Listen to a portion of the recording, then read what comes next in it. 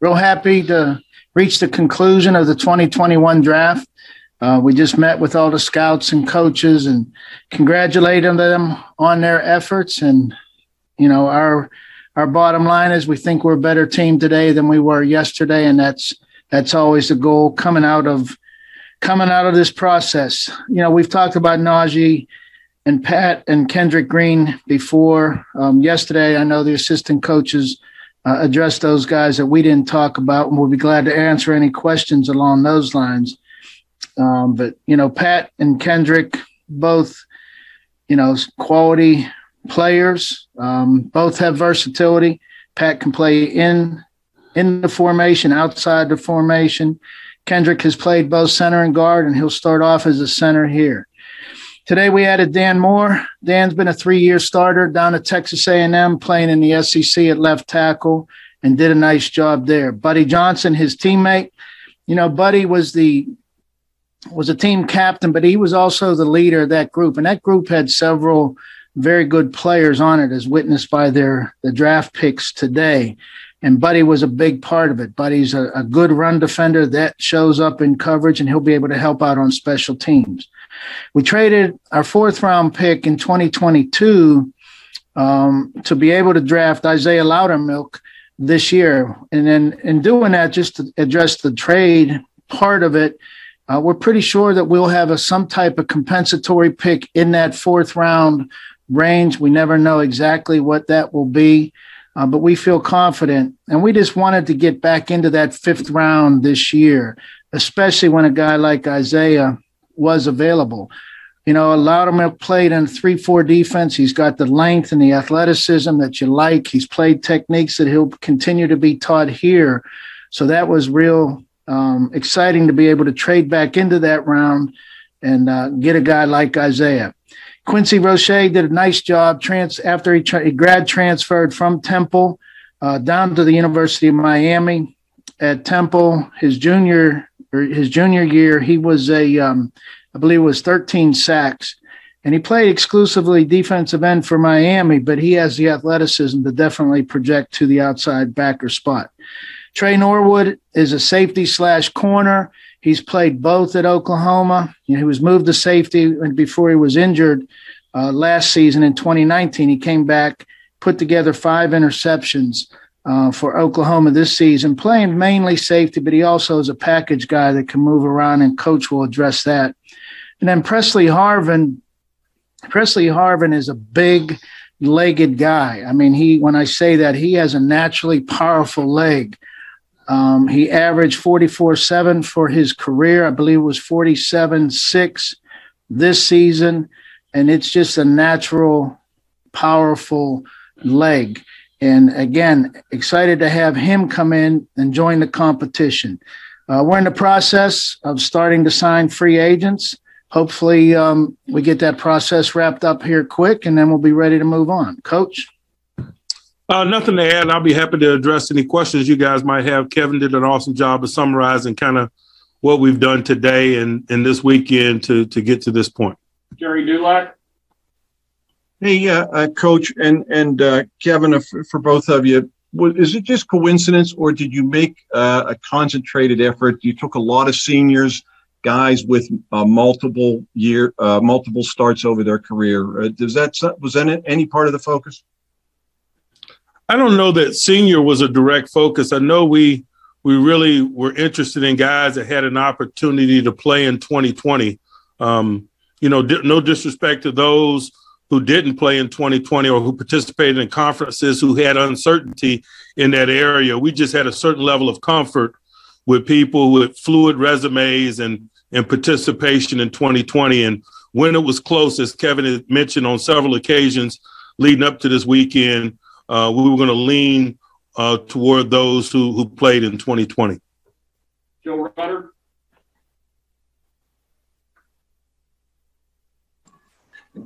it just happened to work out that you were going to use the first four on offense, then follow it up with the next four on defense. Yeah, again, just to echo coach's comments about the seniors, there was really no plan for that entering into this draft. That's just the way it unfolded for us. Uh, happy to have some balance. I don't even know what the exact numbers were. Uh, it looks like it was 4 4 1. So we, we included the special teams for the tiebreaker, but it was no intent to do that and, you know, have hopefully, uh, again, we got balanced help for both sides of the football or all three sides of the football. Mark Kaboly.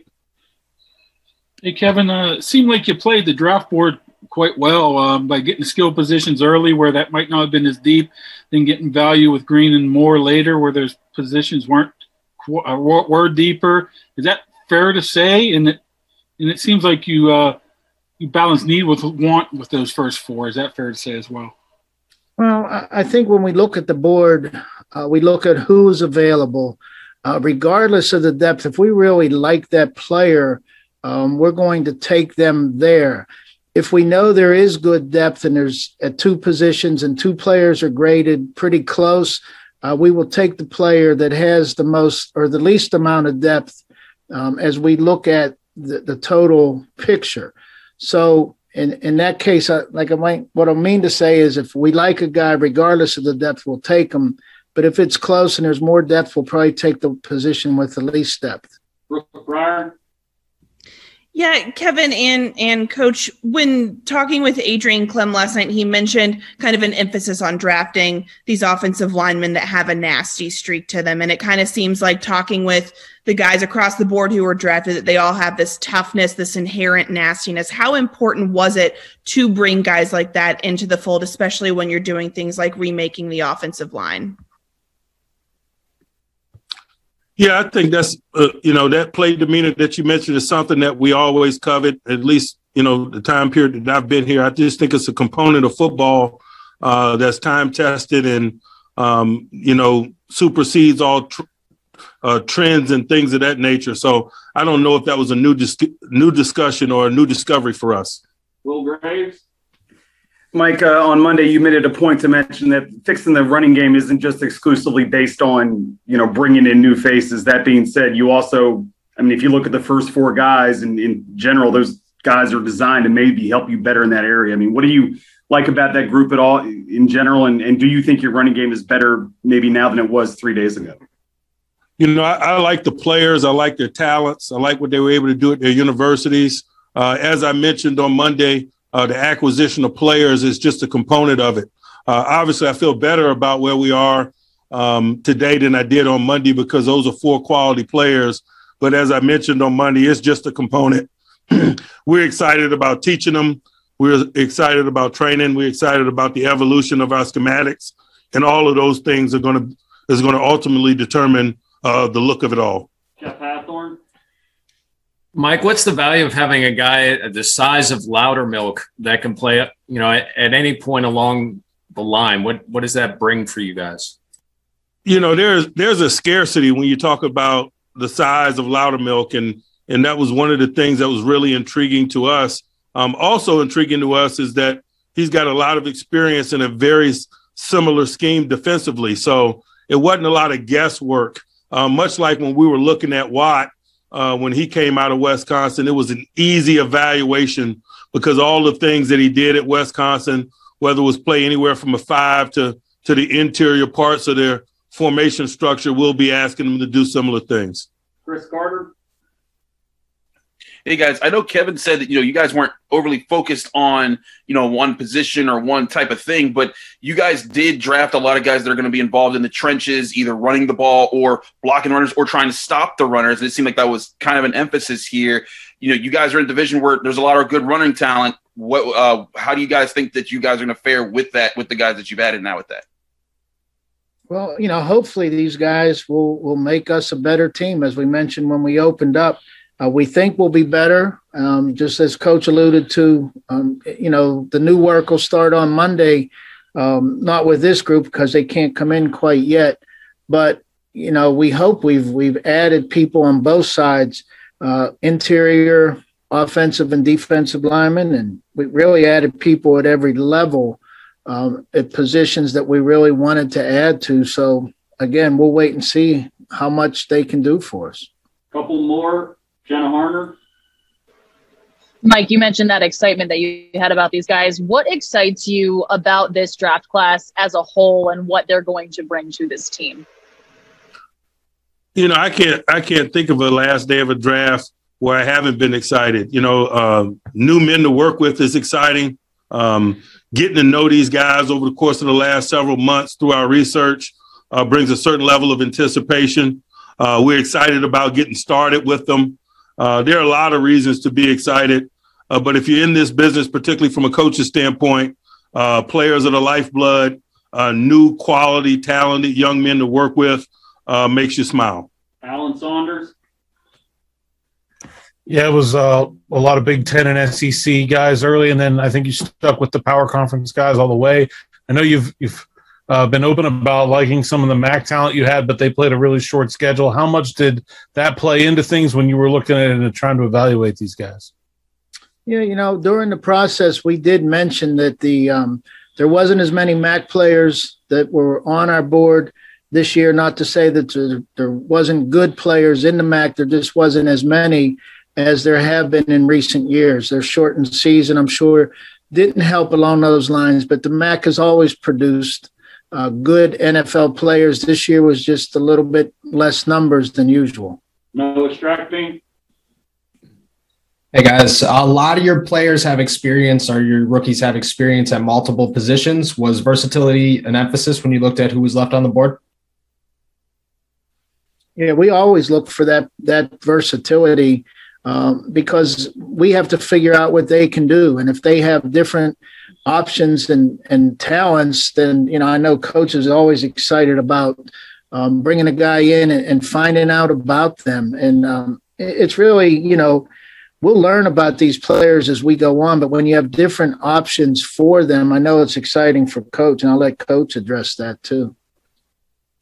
Yeah, versatility helps them uh, and it helps us. And, and by that, I mean, uh, when you're a young guy trying to carve out a niche for yourself, versatility aids you in doing so. And it also aids us in terms of making decisions and finding work for them. So versatility is an asset that that we're really excited about. Um, it, it helps all parties involved. All right, final one before they have to go up for free agents. Uh, Tim Benz. Kevin, uh, you were real patient waiting for defensive back and outside linebacker help, even though you had some outs um, uh, free agent departures this offseason. Is that just a result of how the board broke or depth at those positions the draft, your own depth on your roster? What, what played in the factors there? Really everything, uh, because we knew there was certain amounts of depth at all the all the different positions, and we just had to wait it out. Um, again, trading back in to the the fifth round with a future pick, um, we didn't want to let a, a, defensive player like Isaiah Loudermilk out there. So to be able to trap, you know, to be able to draft that young man at that spot, I think it was just indicative of the people that we felt were available. In Isaiah's case, there wasn't a lot of defensive linemen entering into this draft. And, uh, you know, obviously they started to get picked. And that's why we were willing to trade a pick from next year because we were pretty sure we'll have some type of compensatory pick. That wasn't the one we traded. We traded our actual pick, but that'll be supplanted supplanted by uh, a compensatory pick in some form. Okay, thank you, Mike and Kevin. As for the media, that wraps it up for uh, our availabilities for the draft. We'll let you know for rookie mini camp and OTAs in the next.